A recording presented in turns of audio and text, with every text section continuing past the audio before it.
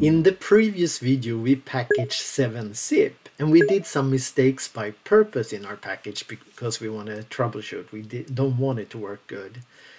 So we put it um, available for all machines, all users actually. Uh, so it should be visible in company portal now. So if we open company portal and let that load, log in, we should have our 7-zip here. It's new and got our icon. Perfect. So we click on that one and install. It's going to download, extract the files, decrypt actually, and then extract, and then try to run it. And that should fail. It's 2 megabit, so it should go fairly quick. My connection is not the fastest. So here it started download and it's going to try to run um, PowerShell.com and that's going to fail. So, fail to install. It's going to take a while before um, uh, the console knows about it. We can look about it. Should, or maybe it's instant. Uh, no, it's definitely don't know about it. Let's do a refresh, but uh, th that's normal it's in Intune isn't instant, but we can start to look on our client itself. So there are many places you can look. In this video, we look mostly at log files. In the video after, we're going to look in the registry where we also can see. So let's look for log files. So already we had under C program data, which is hidden folder by default. So if I go program data here, we created the GBN log, or actually this is probably created by a previous installer. I'm actually gonna delete the, these GBN logs since then we see when it actually get created. So already our log file that we created in our script hasn't happened, normal, because I haven't even tried. But under program data here, I'm gonna make this one bigger, program data, we also have from Intune itself, the log I wanted to look here under GBN logs is the log file we create. But under Microsoft, and then Intune management extension and logs, I'm gonna put uh, this path in the description of this video. We have Usually there are more uh, log files than this, but the one we're interested in in Intune management extension. Agent Executor is interesting for PowerShell script if you only deploy PowerShell script, not Win32 app. So we can open this one and I would suggest to open it with uh, something other than uh, Notepad. By default, it probably look like this, hard to read. I got a little tool that um, should have a tool. Maybe I don't have it on this machine. CM Trace. No, I don't. Even better, let's download that on this machine. Uh, word of caution though, um, CM Trace is great to look um, uh, log files, but you need to have uh, a license for it. If you're running uh, SCCM, Configuration Manager, you have it. But so I'm gonna go download CM Trace. I know there are some blogs out there who um, have it, but again, you need to have a, a license. Free download, CM Trace. It's not the latest one. If there's a download here somewhere. I just do that. Yeah, looks like it. CM Trace, very good for looking uh, log files. And I can't stress enough that it's not a free tool. You have to have a, a configuration manager or license. Um, I'm gonna put under system 32, then I always find it. Uh, am I local admin on this machine? We'll see. I am. Okay, perfect. I'm going to start this one once. And do you want to be default? Yes, very much. Okay, so that was just about CM Trace. It's totally optional. You can look in uh, uh, Notepad and all that. So let's go back to C, Program Data, Microsoft, Intune Management Extension, backslash logs. Okay, now we have CM Trace and again you need a license to use it. So let's open it with the CM Trace. It looks like it's already there. We're going to open with Configuration Manager Trace Log Tool. So it's read. You could open it with Notepad notepad or another tool but then it won't update if it comes new entries here it will be static and you won't get these um, highlights. And this one is a bit stupid. If it's written this is absolutely no error. It will tag it as red. Why? Because it just look for the word error. Okay so we have everything going on on this not only our 7-zip so what I do since I'm looking at this recently, I know we did it just a few seconds ago. I put myself at the very end, do a control F, and search. This one I have used before, but you, I usually search from error code. And since I'm at the bottom, I want to search up to just see if there is an error code because we probably got a bad error code. So we are not looking for uh, success.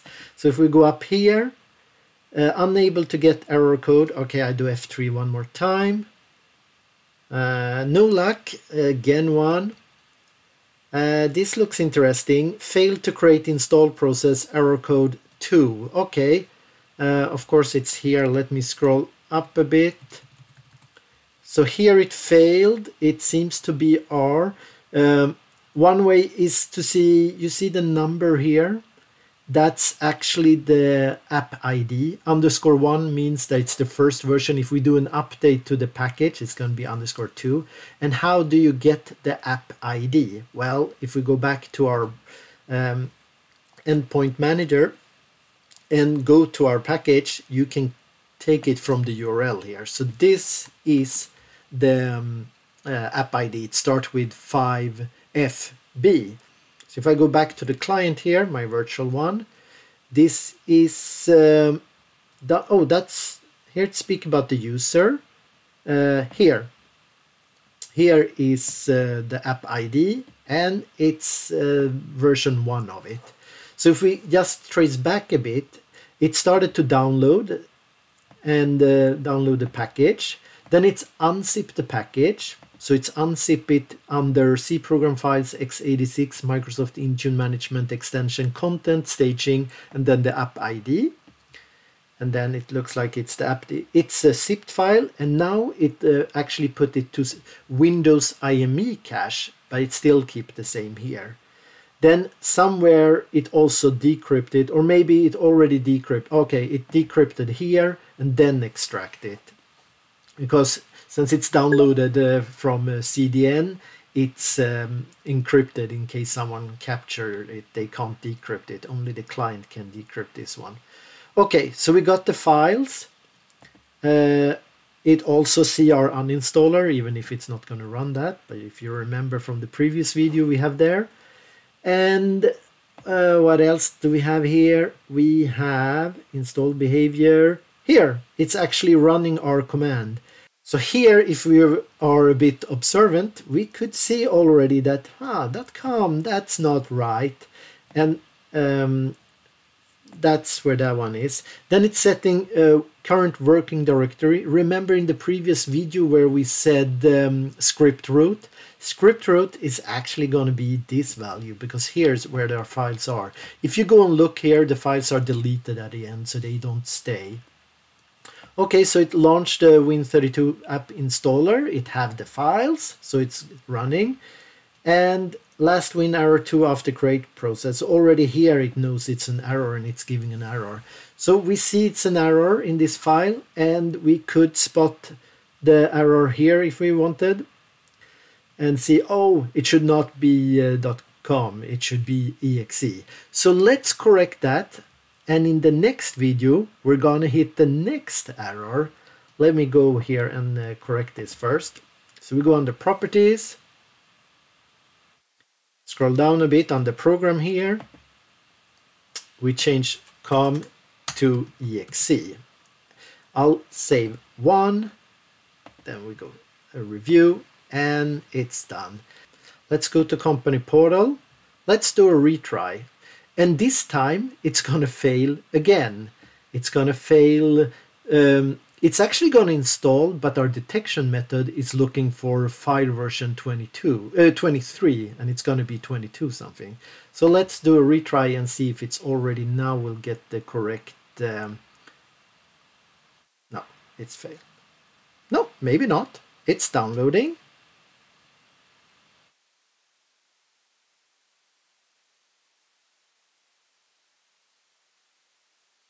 Well, this one is program, add remove programs. 7-zip is installed, but you see it still say installation failed. And that's normal, because if we go back again and look at our um, detection method, click edit, a lot wants to click on the three dots, but that's to delete. You actually have to click on the name. We're looking for 7-zip and the version must be 23 or later. Let's see what we have here on this machine. So program files, 7-zip, and the file is actually just called 7-zip. So multiple error. Uh, it should, we are looking for file that doesn't exist and and uh, wrong version. So uh, and what is the version? So if we right click and take properties, the version is 22.1.0.0. Let's correct that in the next video. In this video, we have been looking at where are the log files for uh, uh, Intune, and those are C program data backslash Microsoft backslash Intune management logs here. And we can also see if we got our install log under uh, program data GBN logs. Yes, we got this one, our own install log. I'm going to open that. Going to open up in CM Trace. And we can look at the end. It's red here, but it says installation success or error status is zero. That's actually success. Again, this tool uh, marked this as red because it just find the word error. It's not smarter than that. So our packaging works now, but the detection method is still not working. It's um, eh, it's looking for the wrong file before. Now it's looking at the right one. I haven't saved it yet. It's looking for the wrong um, version. Let's fix that in the next video. Thank you very much for looking so far.